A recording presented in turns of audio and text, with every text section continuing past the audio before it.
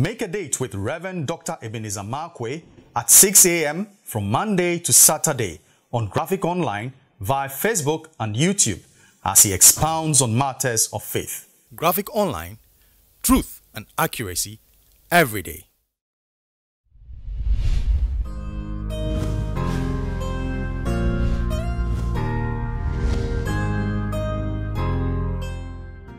Hello, this is Reverend Dr. Ebenezer Markwei of Living Streams International, bringing you matters of faith with Graphic Online.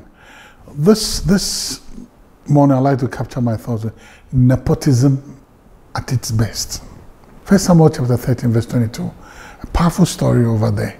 Now, I, am reading about the story of Saul, you know, uh, good man, he had come into the kingdom. And then the Bible says in the earlier verses, it says, in the whole of Israel, there was no sword and there was no spear. But then the, uh, chapter 13, verse 22 said, the only place where you can find a sword was in the house of Saul.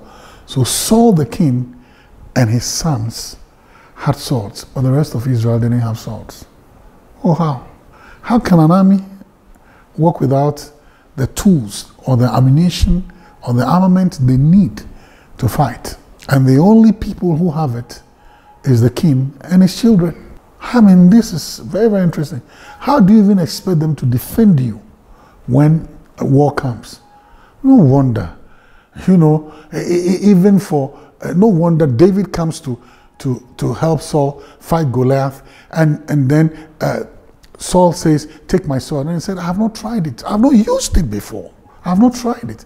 In 1 Samuel chapter 17, David said, I have not tried it. Because one way or the other, the king had succeeded in equipping his countrymen and his people and his family and his sons and his daughters and left everybody to their own devices. So in, in Israel, in a time of war, where is going to be the sword? No wonder when Jonathan met David, Jonathan gave David a sword. Jonathan gave David a sword.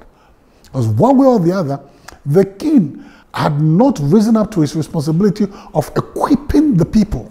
Isn't this what goes on? This is what we see. Don't we see nepotism at its best? Family members, they are equipped. Others are not equipped to meet the challenges of life. Only the king and his sons. What a tragedy. What a tragedy. Nepotism at its best. Why, why is it that leadership, sometimes leaders, yeah, we're so fixated with mine and mine and mine and mine alone? Whereas the ordinary people are languishing and they're suffering and they're, and they're going through all those other things that they shouldn't be going through. When it is in our means and it's in our power to equip them, when it is in our power to, to aid them also rise up, to educate them, to make them rise up, why is this so? Oh, human beings, when are we ever going to learn? You are King Saul, and you need to equip the people for your own defense and the defense of your legacy tomorrow. But guess what? Only mine and my sons, my sons and I, my daughters and I. Nepotism is the bane of sometimes African leadership. Nepotism is the bane. It is something that plunges a nation into unnecessary civil wars and all those things because people see it. People see it.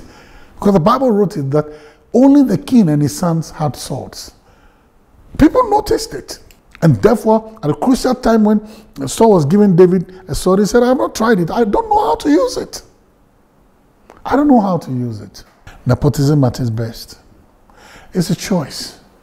Once we come into places of responsibility and places of authority and places where we are lifted up above ordinary men, we have a servant responsibility. We have a God-given servant, uh, um, servant posture to serve the people and to equip them and let them also rise up and fulfill their potential. That's what we can do. We can, we can equip them with, with information. We can equip them with, with, with the necessary resources. We can equip them by even changing their mindset. We can equip them rise up and also become giants like us. Anyway, nepotism at its best sometimes is a reality we have to face. Choices are ours.